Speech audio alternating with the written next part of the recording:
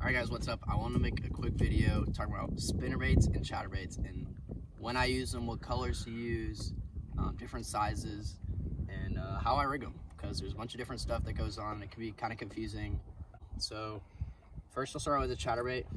Um, I love a chatterbait because it covers a ton of water, puts out a lot of vibration, you can really feel it with your rod. Uh, I can toss this pretty much anywhere. It's pretty weedless. It's got this blade in front of it and that'll help deflect off a cover and stuff like that but it's still got an open hook, so you got to be mindful of that. I really like throwing a chatterbait around grass. Um, I love just a straight reel in or a straight reel in with like a pop or something like that. Or you can even yo-yo it like a jig or a worm on the bottom. Um, that gets a lot of bites. Um, there's a couple modifications I like to do to all of them before I get into the sizes and colors. And one of them is there's usually a rubber a rubber band going around the skirt over time, with how many fish you catch and with the sun and the heat, this rubber band will eventually break apart and you'll lose your skirt. So one of the first things I like to do when I get out of the package is put a little zip tie on it and cut the tag end as close as I can do it. And I'll put the square part of it on top so it won't catch on won't catch any grass on the bottom. Um, another thing I'll do is sometimes I'll cut the skirt. Um, you see I left this one kind of long because the front of it kind of is uh, flaring out. But sometimes I'll cut the back of the skirt to the bend of the hook and that will just eliminate short strikes and allow your trailer to work um, even better because it'll allow the water to flow around the bait and it'll allow it to hit the boot tail. And speaking of trailers, there's a couple trailers that I like to put on here. Um, this is a Zoom uh, baby swimming fluke. Um, it's a boot tail. I love throwing a swim bait. Some people put craws on theirs. It'll cause more lift if you put a craw bait on there. Um, but I love uh, boot style swim bait. Um, this is a shorter one. I'll throw something, this is like three and a half inches. I've got a 6th Sense Divine swim bait, 3.8. I'll put that on there, or I'll put a 4.3 inch Keitech on there. Um, and you wanna make sure you match it to the color of the bait that you're throwing. Um, there's a couple different colors that I like to throw. This is a green and white one. This will imitate like pretty much anything. Sometimes I don't know if I'm fishing around bluegills or shad or crappie or whatever. I don't know what's down there. So this is my go-to one when I don't really know what's in the water if I'm fishing a new lake or a new pond. There's another one, straight green, green pumpkin for when you know you're around bluegill and stuff like that. Got white for when you're around bait fish, you know it's shad. And then I've got one that's uh, white and chartreuse. And this is kind of the same thing as the white one, but this is for a little more dirty water. This chartreuse really pops out in the stained water and will help you get more bites. There's a couple different types of ones. Um, there's the Z-Man makes the best chatterbaits there is, there are. Um, I throw the jackhammer. There's the original one that catches tons of fish. Um, there, that's available in pretty much every sporting goods store. Is the Z-Man original chatterbait, and they've got a bunch of different colors in them. Um, I'll throw it in 3 eighths, half ounce, sometimes uh, quarter, and even sometimes like if I'm fishing really deep, I'll even throw it in 3 quarter.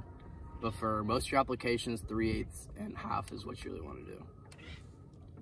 Um, I talked about fishing around grass. It does get hung up a little bit in wood, so this is one where I really just cover grass with it. It could be shoreline grass, or it could be big, uh, expansive flats of grass. Another bait that I like to do to use is a spinner bait. Um, I pretty much, almost 100% of the time, I'll be throwing one with two willow leaf blades on it. Same thing, I'll trim the skirt a little bit. Um, I'll put a zip tie on the skirt just to make sure it doesn't rip. Um, there's a couple different brands. This is a Picasso. I've got a War Eagle.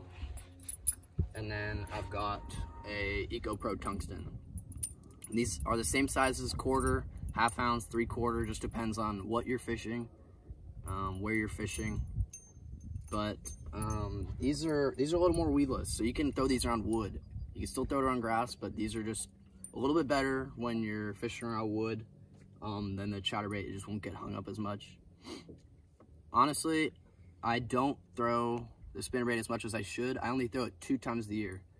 Um, when there's the shad spawn and in the fall time of the year when the bait really bunches up. You can see balls of shad on the surface. They're flicking. And when you can literally just see them with your eyes.